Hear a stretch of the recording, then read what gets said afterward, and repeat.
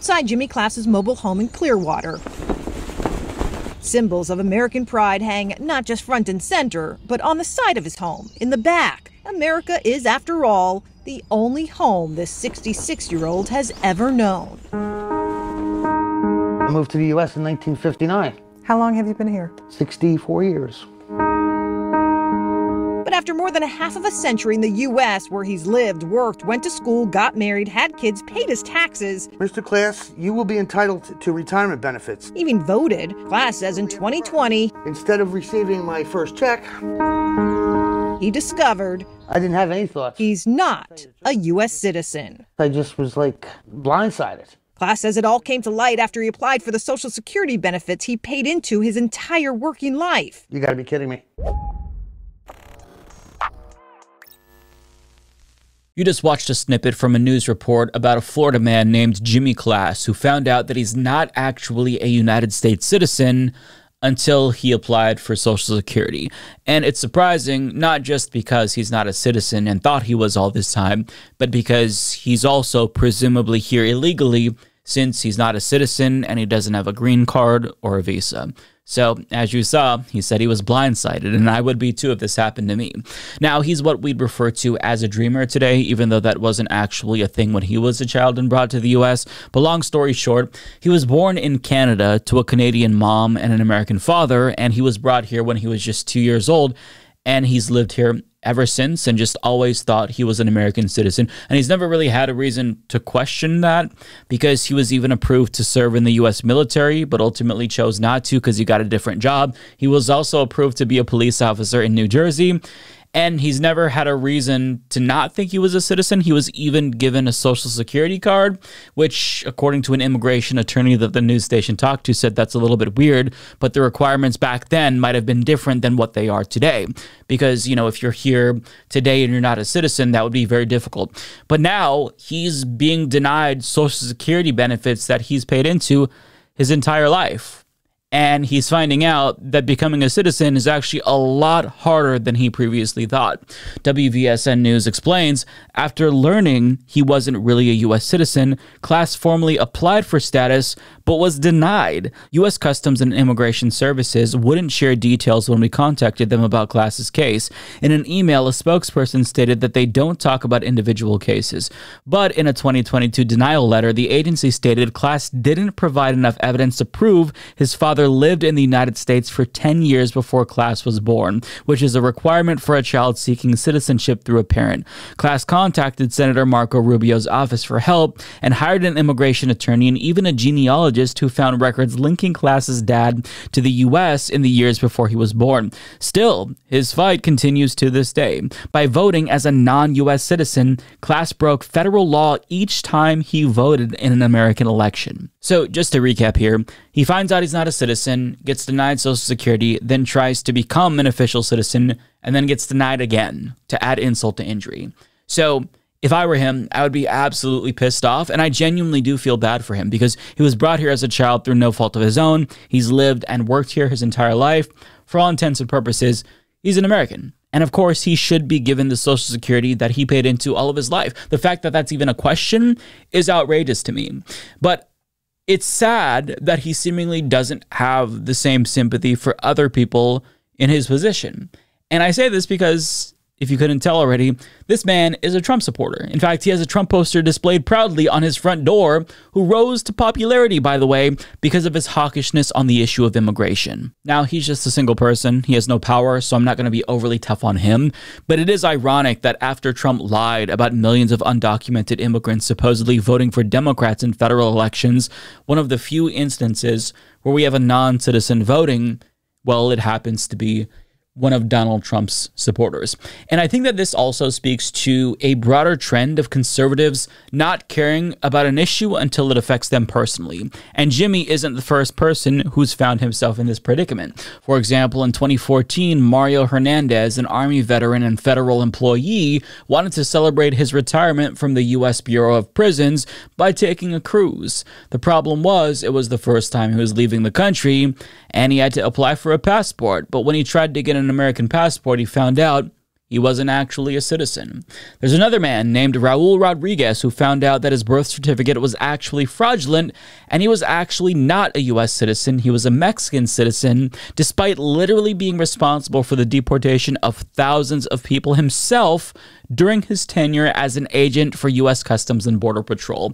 And as a result, he lost his job, his law enforcement friends, and his sense of self, apparently. And to that I say, may he be given the same amount of sympathy as he gave to the thousands of people that he deported. But in general, this demonstrates why empathy is so important, right? All too often, conservatives don't give a fuck about any issue unless it affects them personally. And when it comes to Jimmy, you know, I am curious to know if he's had a change of heart at all about Trump, or at least has been a little bit more introspective about Donald Trump. I'm assuming no, since he still has the Trump poster on his door. But I mean, you're part of the problem. When Trump whines about immigration incessantly, you're also included there.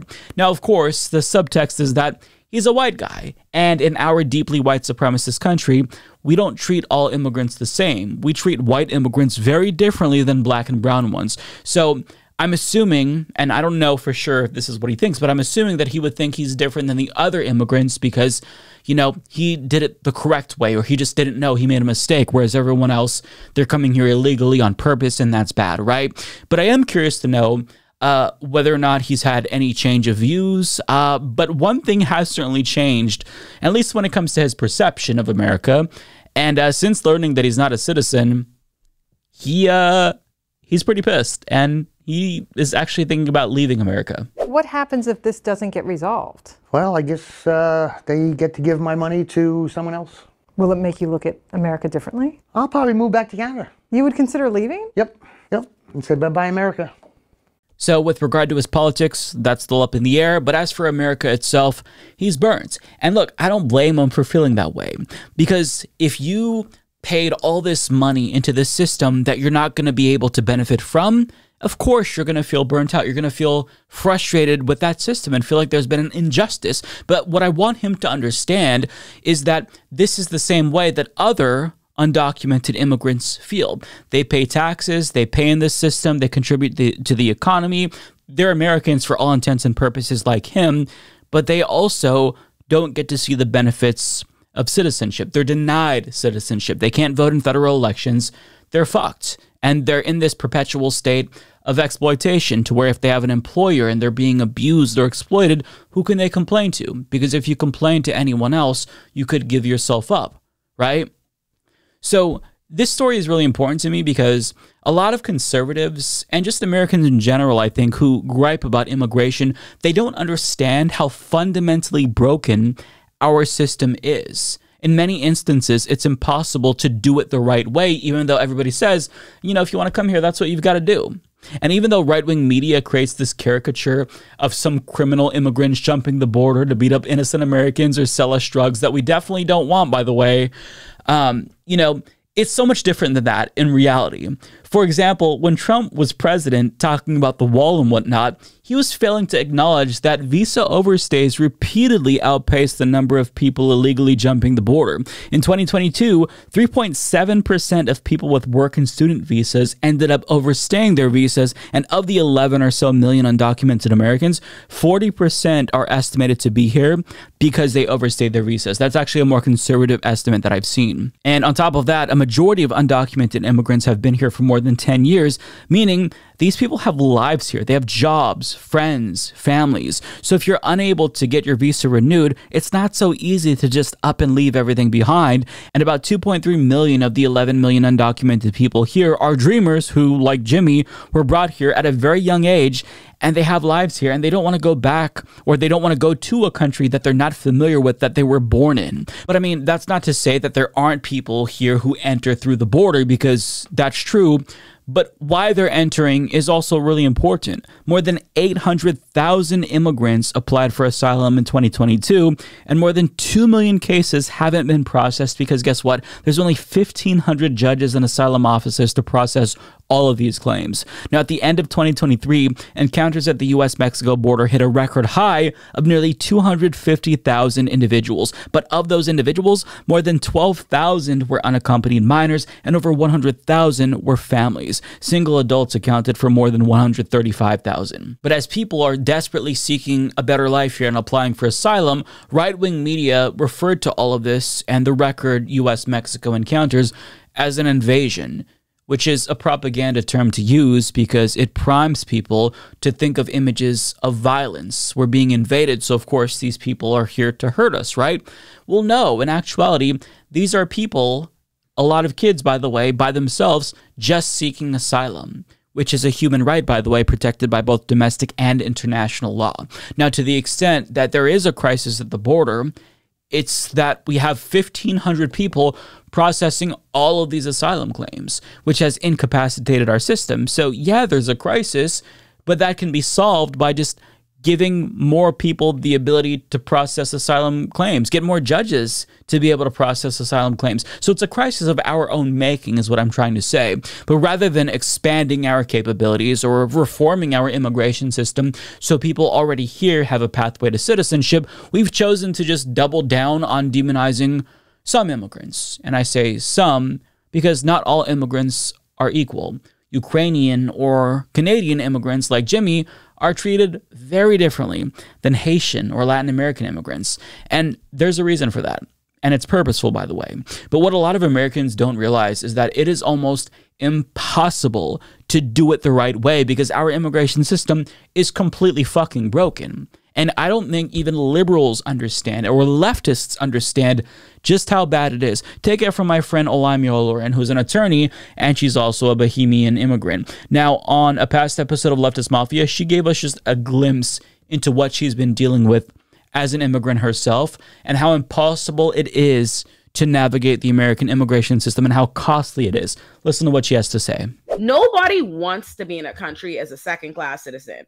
Nobody. Nobody went. There is nobody that has the ability to apply to become a citizen or to have a work visa or green card or these things the lawful way, and they are just choosing not to do it. They are literally not eligible. That is what Amer- America's America's immigration system. Not only one have they created an immigration system that mirrors a criminal system that doesn't need to. Because I know it's hard to think about it because that's all you ever see is a world where you you you they detain people and they that doesn't make sense. Why are people becoming criminalized based on what should just be this is this is paperwork. This is this is immigration stuff. It doesn't have to be a criminal situation, but they make it that, and they make it that for specific populations because you ain't never seen no bunch of Italians at the border uh, or being in no detention images or blah blah blah or heard about a large. What? What? You don't hear that? You don't hear that? But you hear it. But but but whenever you see these pictures, they can't wait to show all these pictures of the Haitians being chased on on on horseback and being whipped and mm. all kind of Hispanic people in cages and stuff because that's what it really really is about is is keeping these specific populations out. Mm-hmm. And also, we don't talk about how expensive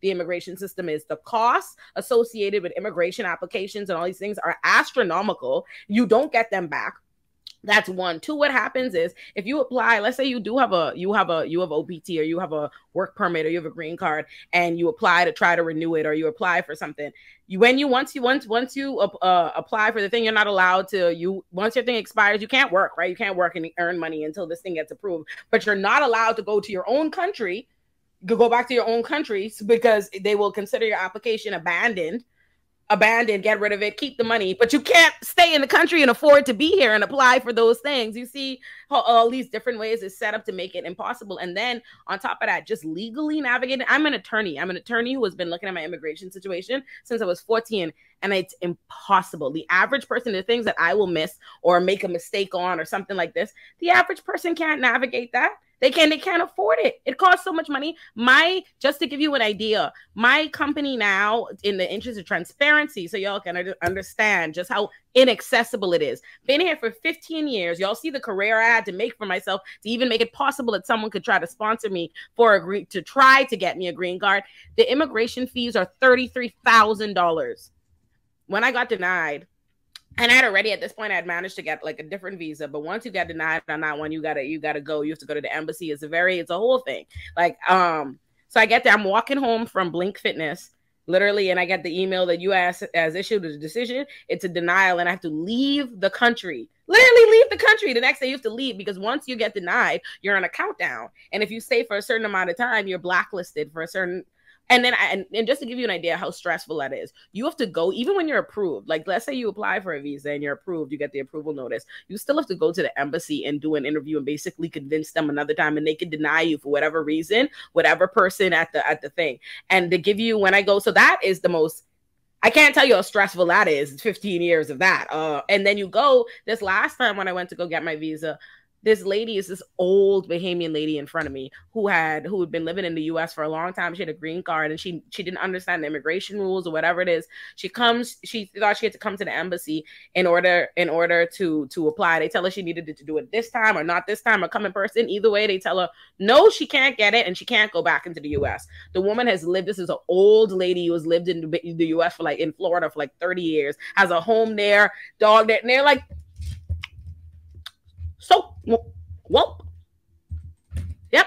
And that's the shit that you, you're in there like behind this person, like getting ready to have a stroke because that's what it is. And I've experienced so many, so many other friends and so many Bahamians and so many other people that have come to, to the US for a certain period of time and really struggled to try to be here to stay. Like it's, it's, it's an impossible journey. I have five sisters. I have five siblings, and my sister have three sisters that are just as intelligent, just as uh, decorated, and all these different things my sister Dawn, who was my doctor equivalent, didn't couldn't go to US med school because it's impossible because the standards for international students like that on average they will only let like 3 to 7 international students into a, a class because what's the point if they're not going to be able to get employed after? No one wants to employ them because no one wants to take on the sponsorship of them so it makes it that much harder to even get into the schools. And for me to be able to get a job for me to make myself competitive the fact that I'm still in America I worked six jobs six legal jobs in law school. When the average law student you could only work one. That's how stressful those are but you'll make a lot of money. So I had to work a job. I worked six like demanding law jobs that would pay you, but I can't accept the pay because it'll violate the terms of my visa. So I'm broke. I'm working to death just make to make myself far more competitive than everybody else so that I could still be sitting here talking to you all today. So in conclusion, our immigration system is arbitrary. There's no clear and concise standards. It's overtly racist and it's fundamentally broken overall. And the only reason why Ole is in a position to now apply for a green card is because she became a public figure. Do you think that that's something that most immigrants will be able to achieve? Of course not. So, a large number of undocumented immigrants, that's the result of our system. It's not their fault. That's our fault. That's the fault of our system. Because when you make getting a green card nearly impossible and provide no pathway to citizenship to people who've been here since they were children, what do you expect? So obviously, we need immigration reform so people can do things the right way. But when it comes to people who weren't able to do it the right way, well, what do we do about them? We grant them amnesty. That's what we do. We let them stay and we give them a clear path to citizenship because that's the right thing to do. They're Americans.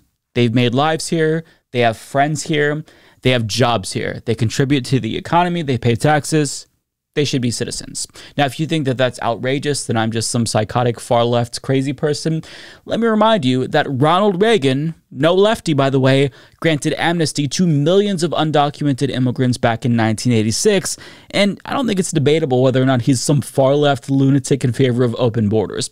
And I think that people especially have a right to seek out a better life here especially if our policies destabilized or destroyed their home countries. I think we owe it to them to offer them a better life here. But I mean, when you see even the prospect of admitting people from Gaza here, Americans throw a temper tantrum. But there's not much complaints about Ukrainian immigrants or immigrants from the UK or Australia. There's a reason for that. But much like Jimmy Klass, undocumented immigrants the ones that are already here, they contribute to our society. They pay into the economy, they pay taxes, and they become Americans for all intents and purposes, just like him. So perhaps we should all try to be a little bit more understanding towards immigrants and not just, you know, change our perceptions once something affects us individually. Because at the end of the day, we're all just human beings just trying to live our lives. And I think we all are entitled to be able to do that. Jimmy should be able to stay here, as should the millions of people who have already made lives here as well.